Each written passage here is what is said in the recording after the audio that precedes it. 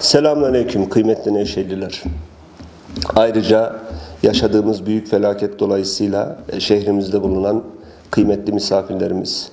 Hepinizi saygıyla selamlıyorum. Öncelikle yaşadığımız bu felaketten dolayı milletimizin başı sağ olsun der, e, vefat eden vatandaşlarımıza da Allah'tan rahmet dilerim.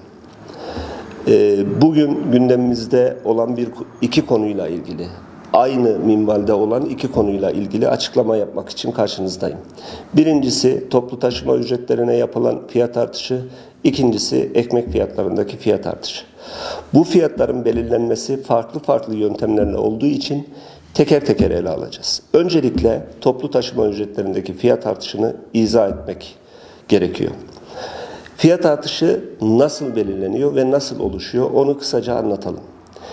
E, cemiyetin, özel halk otobüsleri cemiyetinin şoförler ve otomobilciler odasına başvurusuyla oda esnaf kefalet esnaf birliğine, esnaf ve sanatçılar birlik başkanlığına e, bu talebi iletiyor. Birlik başkanlığı red olarak gönderse dahi tekrar oda yani şoförler ve otomobilciler odası birliğe ısrarlı şekilde tekrar aynı yazıyı gönderirse 3 gün içinde onaylanarak yürürlüğe girmek zorunda.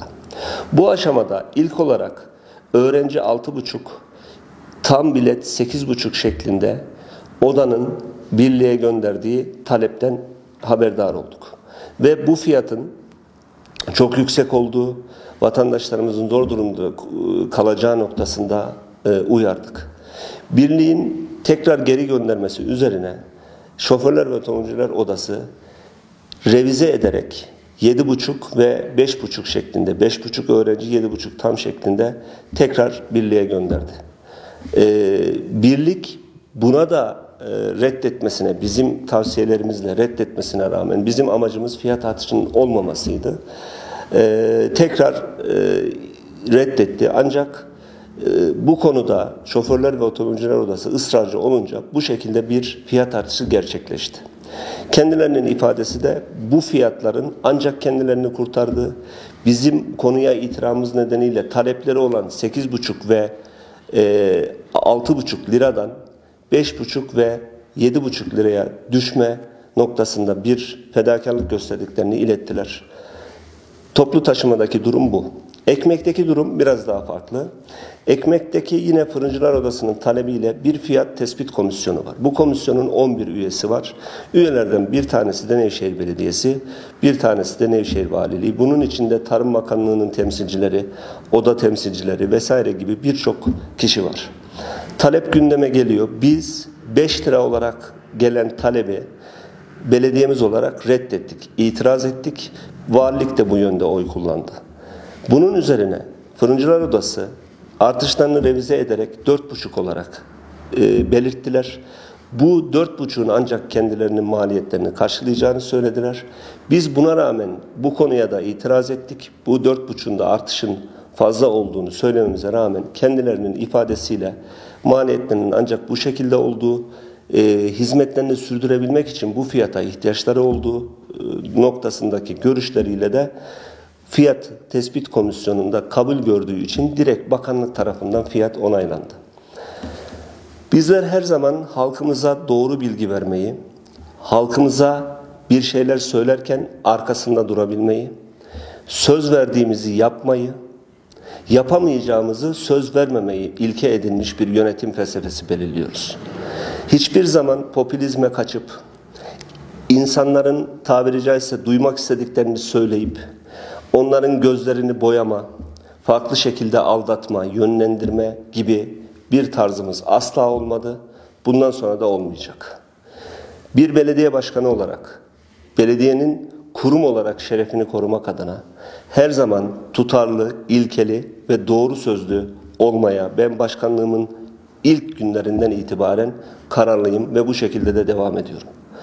Vatandaşımızın yararına, halkımızın yararına, ne yapılması gerekiyorsa hiçbir şekilde çekinmeden, korkmadan, hiçbir zaman yorulmadan yapmaya devam edeceğiz. Şimdiye kadar da böyle yaptık. Hepinizi saygıyla selamlıyorum. Zorluk içinde geçirdiğimiz bu günlerin biteceğini, birlik olduğumuzda, birbirimizi anladığımızda güzel günlerin yakın olduğunu belirtmek isterim. Ekonomik olarak bir takım sıkıntılar çektik. Halen de çekiyoruz. Pandemi, sonrasındaki Ukrayna Savaşı ve diğer gelişmelerle ciddi manada ekonomik sorunlar yaşıyoruz. Ancak hükümetimizin müdahaleleriyle, ücret artışlarıyla e, ve desteklerle bu sorunlar azaltılmaya, bu çekilen çile hafifletilmeye çalışılıyor ve sizler de bunun farkında olduğunuzu düşünüyorum. Ayrıca her şey e, bu şekilde zor bir dönemdeyken büyük bir felaketle karşı karşıya kalmamızda gerçekten işleri daha da sıkıntılı hale geldi. Böyle bir dönemde fiyat artışlarını konuşmak asla istemeyiz ve hatta hiçbir zaman halkımızın büyük çoğunluğunun faydalandığı bir hizmette, bir üründe fiyat artışı olmasını tercih etmeyiz. Asla böyle bir tutumda olmayız. Bunu bilmenizi isterim. Bizler birlik olduğumuzda, birbirimizi anladığımızda ve en önemlisi de doğru, düzgün, dürüst, güvenilir olduğumuzda daha iyi oluruz. Güzel günlere, güzel, mutlu yarınlara daha çabuk kavuşuruz. Sizleri saygıyla selamlıyorum. AK Parti hükümetimiz, Cumhurbaşkanımız Recep Tayyip Erdoğan önderliğinde zorlukların üstesinden gelecektir.